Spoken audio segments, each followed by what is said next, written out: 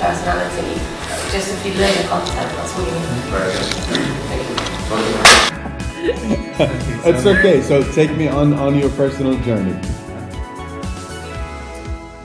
So when can I start? Whenever, whenever I'm ready. Whenever you're ready.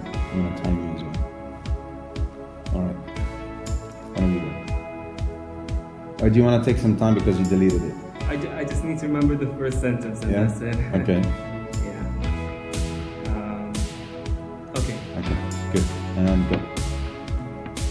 I've never lived in a house for more than five years straight. And though I may have come to resent this as a child, I came to be thankful for it later in life. I live, I'm an Arab and a Yemeni. I've lived in Yemen and nearly a dozen other houses before or homes. I've lived in Malaysia and then back to Yemen. I went to Egypt to study and live, and then back to now finally here in the US. I've lived through three languages, four cultures, four, four countries, and got to experience the world for more than just one window.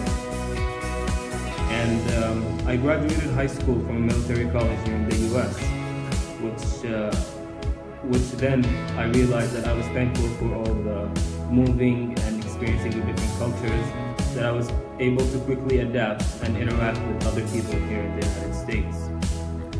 And after that, I became a first lieutenant of my own company in military college. That same year, I was able to get the company from one of the worst to the title of best company in the Dire Cadet Corps. After that, I was also awarded with the prestigious President's Award and uh, for my other accomplishments at the What I, what I, in order, what I chose, why I chose this internship is to implement all my skills and knowledge that I've learned through the years into real life work experience.